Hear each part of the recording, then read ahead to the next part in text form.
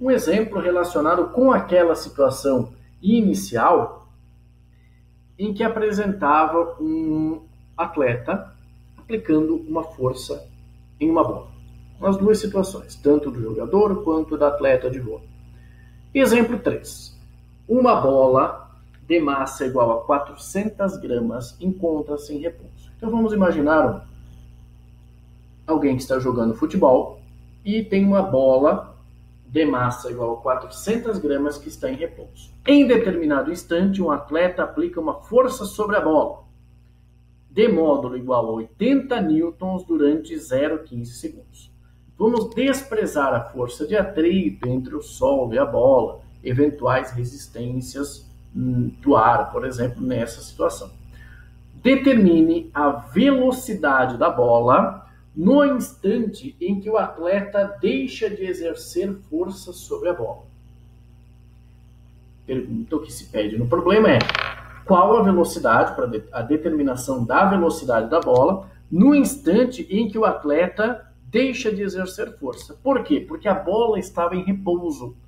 À medida que o atleta vai empurrando a bola, a bola vai aumentando a sua velocidade.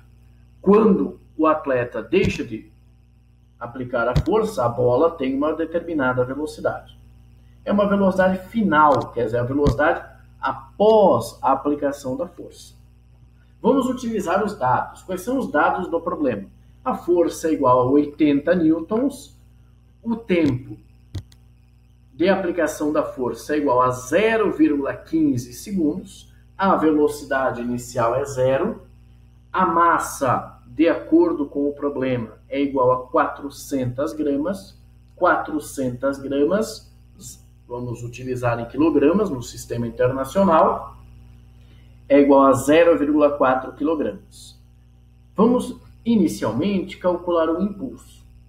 Por quê? Porque queremos saber a velocidade final da bola, quantidade de movimento final da bola é o nosso objetivo. Por quê? Porque se soubermos a quantidade de movimento final, nós vamos conseguir determinar a velocidade final.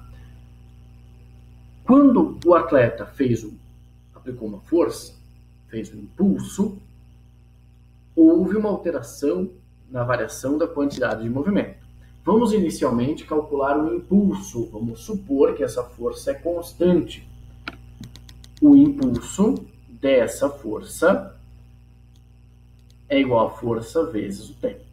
A força 80 newtons vezes o tempo, a duração da aplicação dessa força, 0,15 segundos. 80 vezes 0,15 é igual a 12 newtons segundo. Então, a força aplicada, ah, o impulso da força aplicada, aliás, a força foi 80 e o tempo 0,15, o impulso é igual a 12 newtons segundo. Não é 12 newtons por segundo é 12 newtons segundo.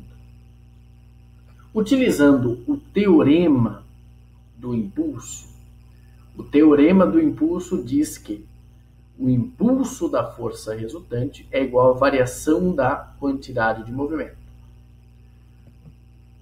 Um objeto apoiado sobre uma superfície, você tem um peso e é normal. E o peso e a normal se anulam, considerando a nossa situação anterior, a força resultante, então, é a força do pé, por exemplo, sobre a bola. Então, o impulso da força resultante nós já temos, já, já obtivemos anteriormente, é 12 newtons segundo. Vamos escrever então. Teorema do impulso. Impulso da força resultante é igual à variação da quantidade de movimento.